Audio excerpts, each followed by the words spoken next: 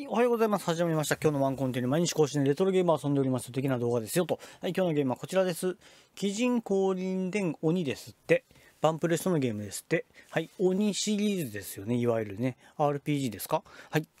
えー、まあ、ゲームボーイが、えー、と有名というイメージがありますけど、こちら、スーファミでも出てたんですねと。まあ、ゲームボーイ版との違いは私は知りません。このゲームのことも基本的には知りません。ただ、あの、鬼シリーズは名作ですよという評判は聞いたことあります。パンドラボックスって書いてあるのは。アンプレスト。どうなんだろうな。同じものをそのスーファミでも遊べるように、まあ、リニューアル、リニューアル、リメイクみたいにしたっていう感じなのか、どうなんでしょうね。えー、というわけでやっていきましょう。全く知らない状態でやっております。まあ、でも、えっ、ー、と、RPG だということは知っておりますが、えー、今日のマンコンテンツ一回ゲームオーバーするまでどんな感じのゲームでしょうかとかを紹介したり体験したりができたらなと思っております。よろしくお願いします。やっていきましょう。まあ、長くなったらある程度のところでペラッと、ペラッと切る感じになりますかね。およっ。パンドラボックス、クリエイティブオフィス。他どんなゲーム作ってるんだろう。一回ぐらい聞いたことありそうな気もするけど。お、いきなり何か始まりましたよ。玉座、玉座っていう、なん、なんて言うんだっけ、これ。なんか、義経。物見。偵察みたいなこと？敵が押し寄せてきました。ここはもう危険です。逃げてください。弁慶じゃん。こんなところまで。片岡って誰だろう？誰の仕業だ？俺の兄、頼朝に決まっている。義経様。兄上が俺が憎い。俺さえいなければ天下は兄上のものになる。だから殺したいのさ。これっていつ時代の鎌倉とかの時代だっけ？あまり私は歴史がちょっとよろしくないので、あのー、ね、時の声。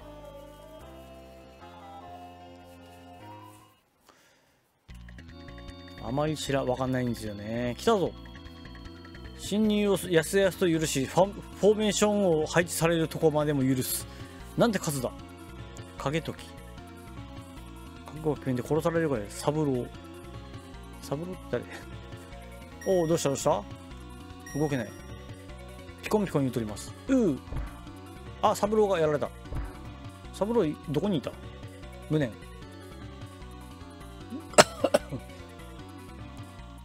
三郎片岡というわけで弁慶と義経のみ残っております撃て危ない義経様あらあ弁慶の立ち往生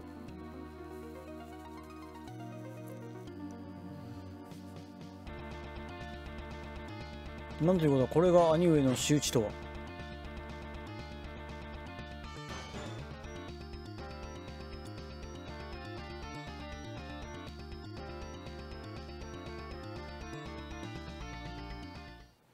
ああおお？遠隔火を放つ？それとも外にいる奴らが早まって火を放った？吉田様頼朝。この恨みこの屈辱は決して忘れんぞ。俺は魔物となってきっと戻ってくる。そして貴様と貴様の仲間を皆殺しにしてやるぞ。えこれどっち側の話すんだ？影時何をしている？早く火を消すんだ。あわあわあわあわ。あわあわあわあわ。あわあわあわあわ。ムーン。あ逃げた。断末魔。文春。5年、えー、4月。衣川。鬼衣川。ん？死亡。衣川。どこだろうね。マジでちょっと歴史と地理が、まあ、社会全般がそんなに弱い。おおそんな中、誰をどうする物語なんだろう。プッシュスタートキー。スタートキーをプッシュします。あ、名前北斗丸でいいのかな。これが、えー、っと、デフォルトの名前なのかな？デフォルトの名前があるのはとてもありがたい。いいよ。いいよ。時は流れ浜辺。一番乗りだ。ガキ大表的なこと。天地丸。高屋丸。時は丸。今日の稽古は厳しかったな。立派な侍になるためだ。これオートスクロールだから、あの、これでいい。そんな必死にならなくても、えーと、なんて、頼朝様？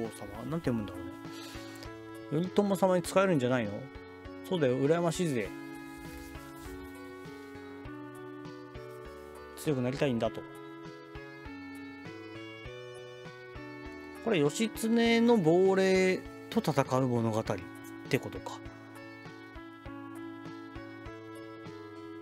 でついでに弁慶の亡霊とも戦うことになりそうな。なんでもない頼朝。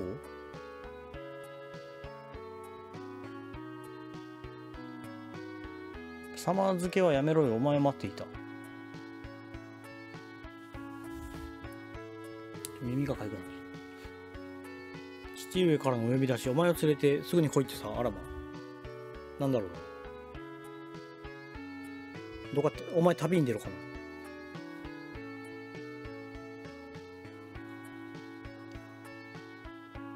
お疲れまた明日。また明日が来るかな？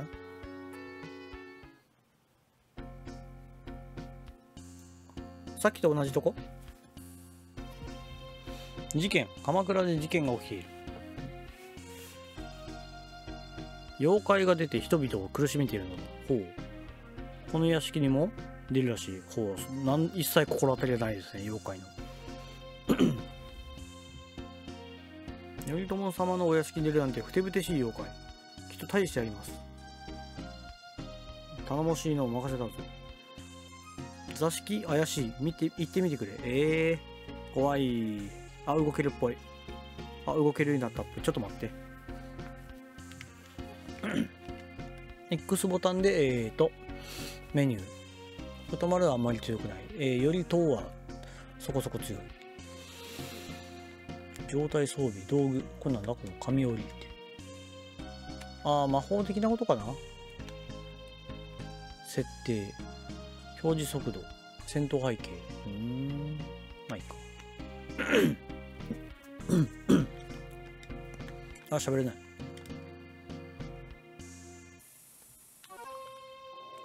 ああ別にボタンを押さなくてもこう接触するだけで話しかけるらしい。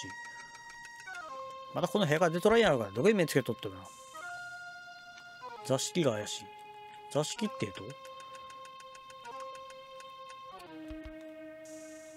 と座敷？はい姫っぽい。面白そうなので見せてもらいますよ。えー、夜遅くです。そこに座って待ってください。姫は私が守ります。え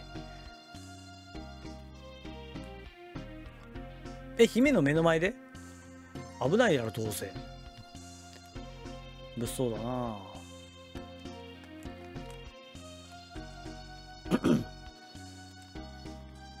何か起こるやろ。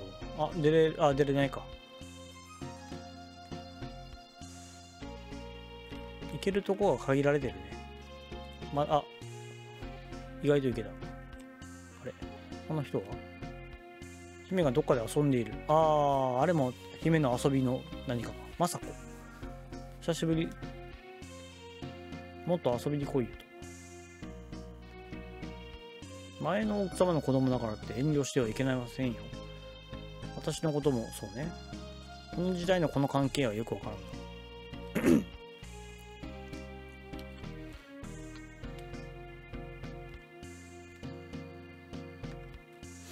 うん。まあとりあえず。そこに座ってことが起こると待てってかさっきのとこに。まあ宝箱っぽいのねそこに。違うかな。違うっぽいね。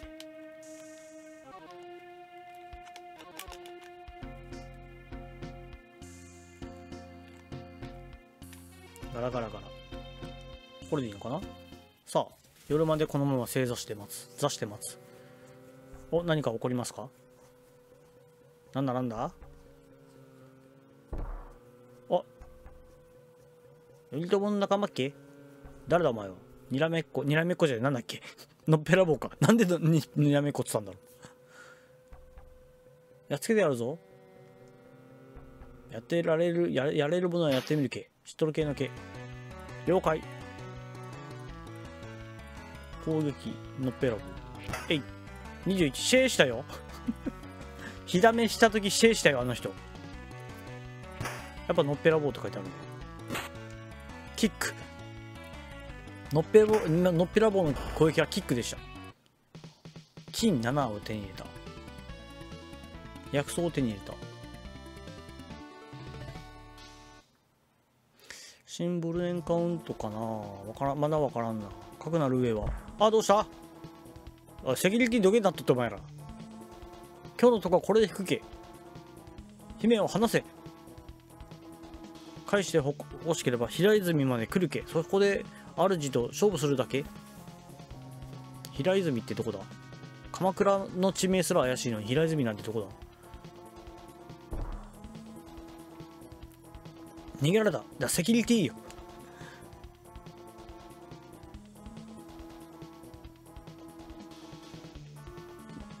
平泉って何？報告まずは報告だ。お怒られんの？うちら悪くなくない？もう姫をあんなとこに置いてた方が悪くない？逃がしたばかりか姫までさらわれたらと？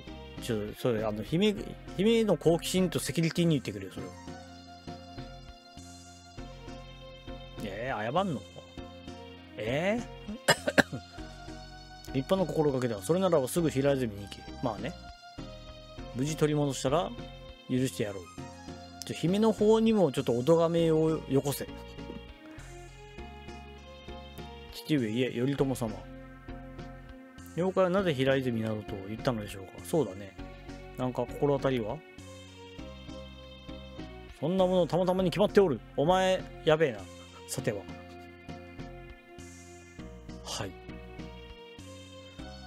ソ上司やなあいつ。では行けここに100両ある。100両もあればね現代のお金に直したらいくらかっつう話ですからね。あれ？さっき金つったけど。な敵を倒してねもらったのは金7だったけどな。あの別別で通貨があるのかな。それともその金7を換金しなさいシステムかな。頼んだぞ。見てこられました。先が楽しみです。何をしている？早く行け。なるほど。一旦義経と組んでやつやってた方がよくない？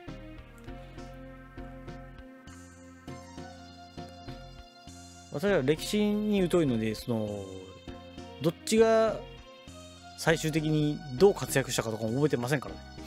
その歴あの歴史上で。お鎌倉ですか？早っ。レレレのレ離れ。倉庫。なんもない？ああ煙玉。薬草。これ調べるコマンドっていうのは別にないですね。あの十字キーでペッてやるだけで。あの宝箱を開けますね。どこで？空っぽです。おこの壁の手内側のここにもあったとは。見逃してた。人に話しかけるもそのここにぶつかるだけでいいし。基本的にこれは楽ですね。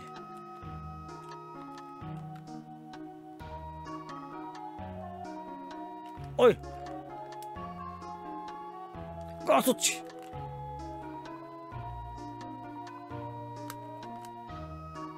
おい。どこ行く？なことまる。平泉来たよ。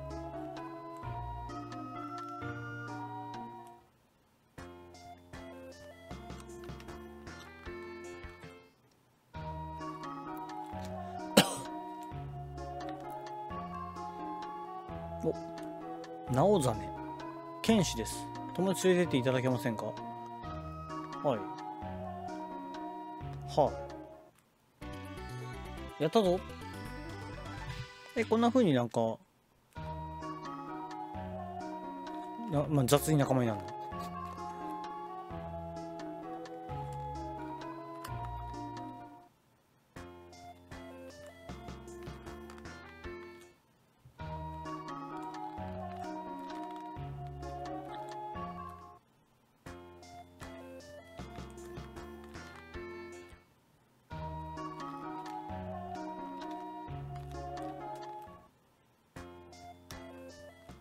空き家が多いな。あ神社。もっと気さくな方だったのにのだって。ああ一緒に戦ったことが自慢なんですよ。昔ね。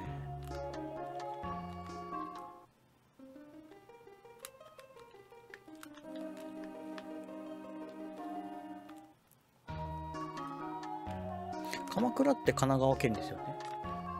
平泉も似たようなとこなんですか？北っつったもん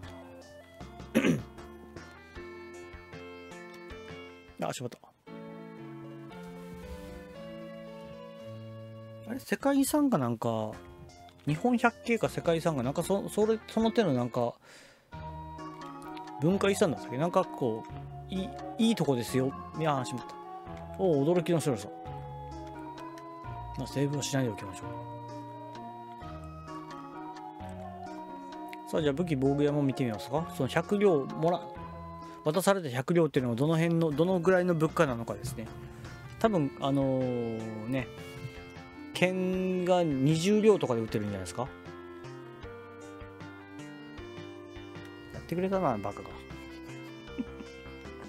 バカ誰がせめてここの町で一番の装備が整えられるぐらいのやつはよこせ。よなるほど。えちょっと待って。どうなってんの木刀鈴掛わらじ。丸腰と変わらんこんなもん。あちょっとカーソルが早いな。刀鈴掛わらじ。バカが さあどうしようかな。刀成功の剣弓矢相当の子そもそも装備できるできないもわからんしね。あ装備できるできないここに書いてあるんだ。非属性。へえ、属性。ここには属性がついてるんだって。へえ。相当の矛を買って刀を、その、北斗丸の方に渡すっていうのでもいいかもね。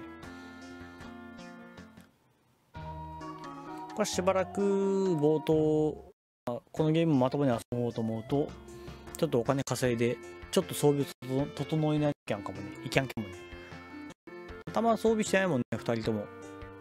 トキンってなんだろう。ズキントキン。わからん。ズキントキンっていうコンビいそうだね。いないんじゃない？お泊まり。カーソルが速くてうかつに牌を選びそうなさっきのお休みになりますか？のところとここはまた違うのか。まあ、ここは最初の話だから、その、無料で休めるっていうだけの話かな。さあ、フィールドはどんなの？どう？この地形関東っぽい。妖怪が現れた。かまいたちじゃん。お、かまといたちでかまいたち。1手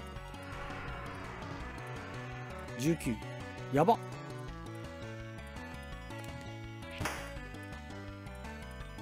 防御って転身って何？は？何？あ防御あった。10死にましたね。死にました。北北斗丸死にました。金15手に入れました。ちょっと待ってこれボケ。あ、生き返った。あー、そうなんだ。へえ。ちょっと待って、これボケ。れ、金15手に入れたで、やっぱ、あー、そうなんだ。いいんだ。回復したね。回復じゃなかった。お金をもらったね。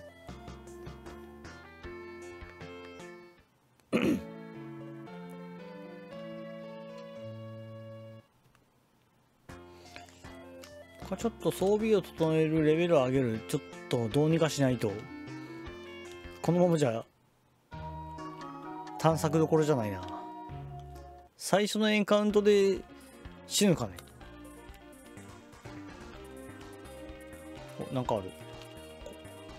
ここら。関所か。道には行くなと。まあ行動範囲は制限されてるね。まあ当たり前か。まだことは始まってないもんね、この物語。エンカウントは、この時代の RPG としては珍しく、全然だね。えー、あ長村。神漬けあああれ国奥の時代劇で見たことある神漬け隠れ里。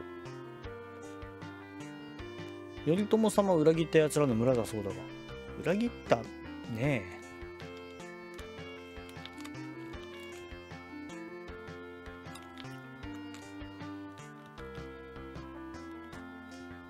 松吉さん。あれちょっと待ってさっきさ誰か仲間になった人。ちょ待って待って待ってどういうシステムだこれ。どういうシステムだ？なんかえ？召喚獣みたいなこ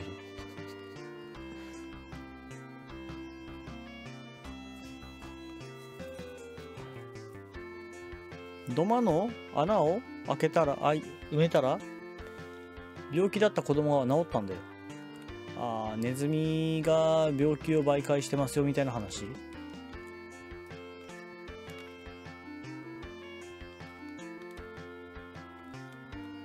布団。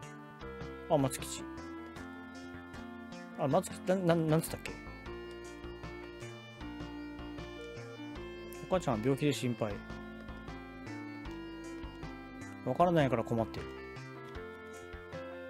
あ寝てあ寝てる寝てる。苦しい。あえ？何？今の。いつもこんなぐらいなんだ。俺ら心配でさ。あ太まる。火の玉見たか。どういうことだ？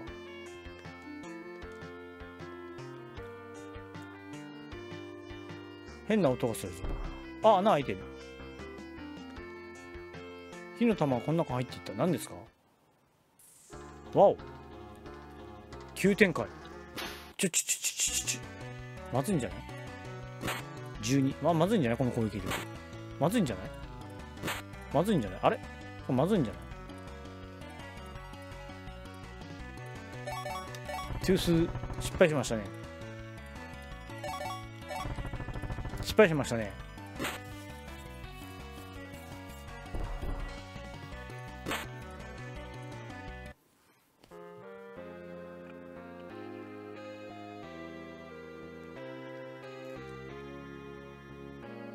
悲しい曲やね。いや昨日に引き続きやけどそんな別にナメプしてないよこっちも。そんなにだよ。ちょっと最初に出てくる敵からなかなかのもんですねこれら。そうですか。最初でちゃんと鍛えて装備整えてその400両を元に一旦なんか買わんと話にならんねあてか頼朝土下になっとって。もうちょっとまともな装備をよこせ。はい、というわけでですね、えーとまあ、見事ゲームオーバーしましたのでですね、これもちょっとやってみたいな。ある程度マイナー RPG とかをですね、まあまあ、このゲームをあのやり込んだ人にとっては、ま、何がマイナーだとって思う人もいるかもしれないけど、ちょっとね、ちゃんとやってみたいなっていうのはありますね。よし、というわけで、まあ、今日のところはここまででしょう。はい。というわけで、本日お送りしたのは、鬼人降臨伝鬼でしたっけね。あと、なんか幕末なんちゃら伝っていうのもあったみたいですけど、そっちは今んとこ持ってなかったみたいですね。ちょ記憶にあるうちに探しとこうかな。まあいいや。というわけで、はい、本日はここまでです。お疲れ様でした。ありがとうございました。オープニングデモ画面をまた見ながらお別れしましょう。さようなら。よろしければチャンネル登録、高評価などいただければなと思います。さようなら。